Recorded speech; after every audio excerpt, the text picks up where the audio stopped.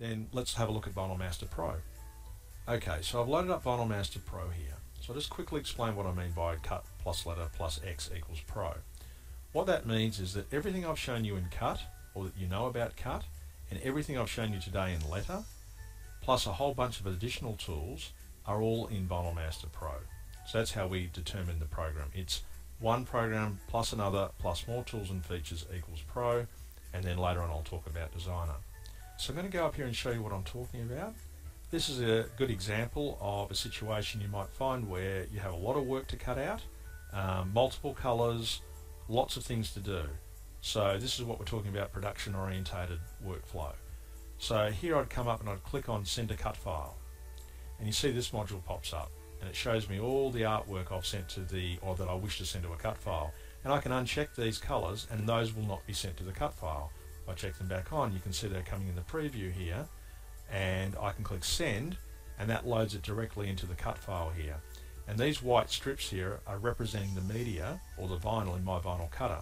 Um, and you can see here a picture to show you what the orientation is and how it's actually working. So I can come in here and I can position things um, as I see fit um, and I can even add more text if I wanted to as an example. So I've got lots of control over this particular cut file. The other thing I can do is I can click Save As so you can see I've got black here, white, green, and so on and so forth down all those colours. So I can actually save the cut file and open it later and add more jobs to it um, and append to it and modify it as much as I like. So that's a good thing about Vinyl Master Pro. It gives you more production capability. I can press this nest button here and you can see it automatically nests all these cut files uh, and it saves a whole bunch of media and my time you know physically going through and doing it myself. Show that again in the white like so. Now I said before you can append to or add to your cut files. So if I click here, I've got this uh, sign here I want to send. So again, I just come here and I click on send a cut file. One of the options is to uh, start a new cut document. In this particular case, I want to just add it to my existing cut document.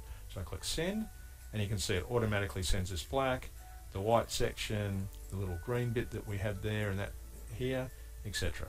So again, I can press nest, and you can see it, it attempts to save my media. I'll click nest here and you can see it adds the job in or that part of the white in and it will do the same with this black here. So you can see how it saves time and it means that I can add to this cut file and I can save it off and reopen it and recut it out anytime I like. So that's a great advantage with Vinyl Master Pro. Another example is this job here, which you can see is rather large, it's 46 inches odd, um, and there's no way I can cut that out on my 24 inch cut, it's just not going to work. So if I send that to the cut file again, so now what I want to do is select this option this time, send to a new cut document because I don't want to append it to my existing cut document. So I click send and you can see it loads it directly into here. And it's allowing for the two sections here.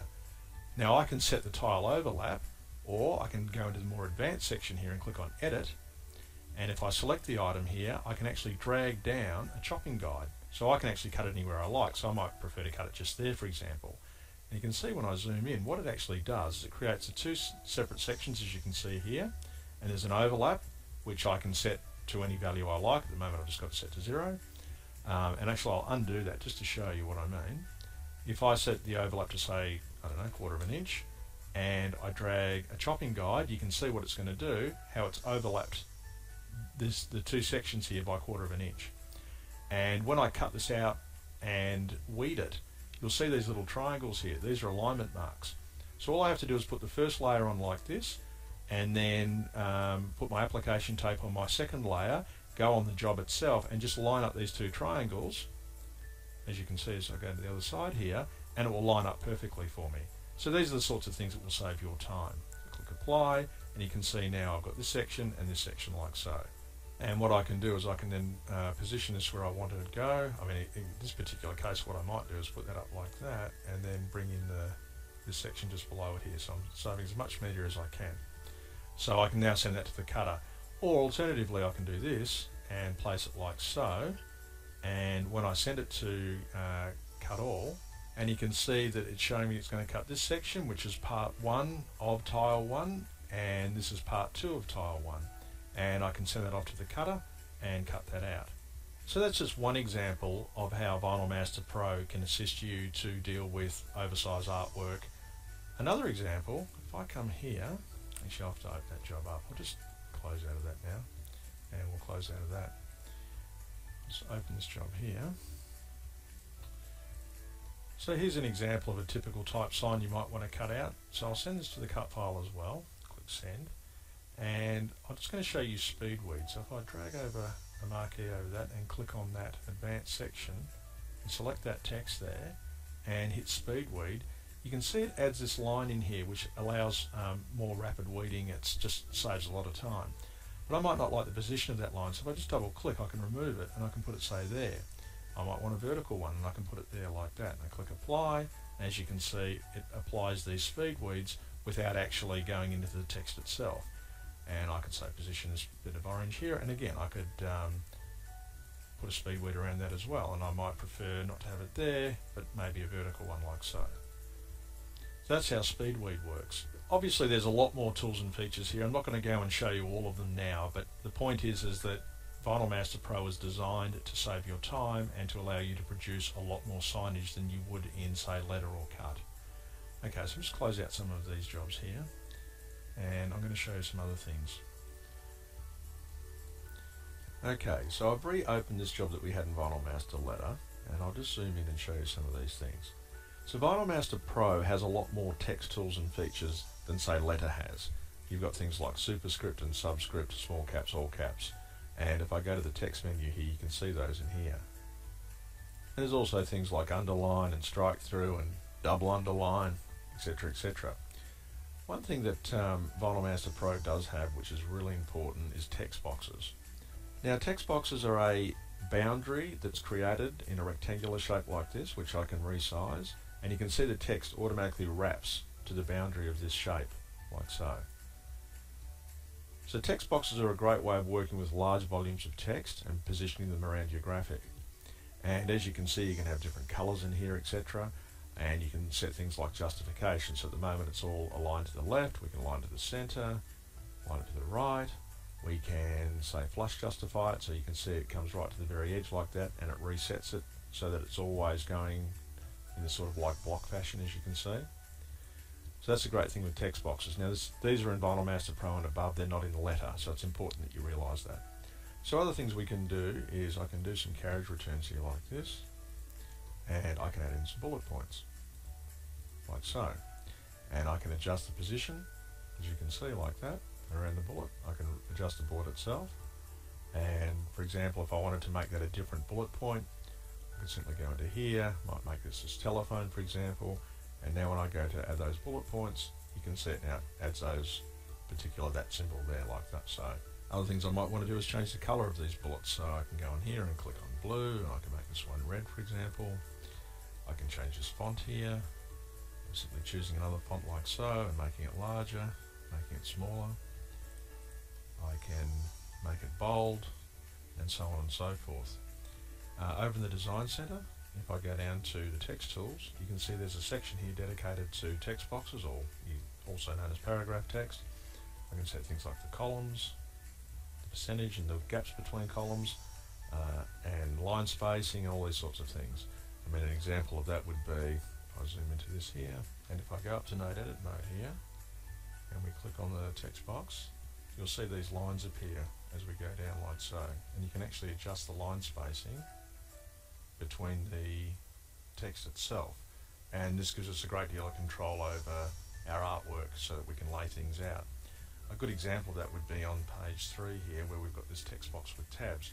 Now this is, again is just a text box and if I click on that there you can see it's just a regular text box and if I go to node edit mode we see our uh, tabs up here and I can adjust these as you can see and bring them in to make the effect that I'm looking for or the layout I'm looking for like so a little bit of adjustment and that's a great thing with these um, text boxes because you can create things like these menu boards and they're very easy to make. Um, another example is text wrapping. So if I go into here, uh, you can see what's happening here is the text is actually wrapping around this object like so. Uh, and of course there's many other things that Vinyl Master Pro does over and above letter with text and fonts etc. I won't go into everything now. One thing I do want to quickly show you is the font manager. Uh, in here you can see it showing your Windows installed fonts. Now, if you've gone ahead and installed uh, the extras and the extra 10,000 odd fonts you get with um, uh, Vinyl Master Pro, uh, you'll see this list be populated here and these will show you all the fonts that have been copied over to your hard drive. The great thing with uh, Font Manager is if I select on a font, say I want this particular font and I click on Use Now, that font will become available in the current document I'm working on or I can add it to the library. And what that means is it actually adds it to the fonts folder in control panel of Windows. So then that font's available for all my documents. So you can either use fonts on the fly or you can use them permanently. And Font Manager lets you do that very easily. And it also allows you to see all your fonts uh, that you've got um, copied to your hard drive. And you can use those very easily from there. So that's Font Manager. Okay, so we've now covered a large number of text tools and features in Vinyl Master Pro. And I'm going to show you a few more things now. I'll show you gradient fills. Open up this document here. Now you can see here, so I'm just going to wireframe, you can see these are just objects. Now these are filled with gradient fills. Now by that, what I'm talking about, if I select this object here and I click on the fill mode, you can see these fill tools up here. Now I'll click on edit and the gradient editor comes up. Now this lets me adjust, you can see the preview here, this lets me adjust the gradients. I can have a linear gradient, radial, square, conical, etc. I can click on these nodes here and I can change their colours and change the, uh, the look of the gradient quite extensively go to the gradient library here, you can see there's around, well, there's about 800 of these gradients in here. And I can apply any of these uh, and I'll make it conical again. Actually, I'll make it square just to make the point. Uh, accept. And you can see here what's happened is we've created this uh, gradient fill here. Now you can combine gradients together uh, and you can create some pretty amazing artwork. An example of some of those things is, say for example, this artwork here. If I go to wireframe again, you can see this is just a whole bunch of objects. And if I click on this here and this here, these two different sections, you can see these are just gradients. I mean, if I go to the fill mode here, um, these are just gradients, as you can see. And by using clipping paths and things, I'll just undo what I had there, Control Z, you can see I create this artwork, which is you know quite amazing, really. This is all vectors with gradient fills. Now, similar to those, um, you've also got textures. I'll just close out of this now. Um, just give bit more room here. And I'll open up the textures here. And as you can see here, we've got these texture fills. And again, it's the same sort of thing. If I go into wireframe, you can see these are just objects. And these have been filled with textures. I come here to textures. And as you can see, I get a preview of all these uh, textures I've got in the program. There's over 1100 in Vinyl Master Pro. And if I select one you see it in the preview like this I click accept. That just puts it into the object I've got selected. Now just zoom in and show you what you can do. If I go to fill mode I can actually adjust how that texture is positioned and how it repeats.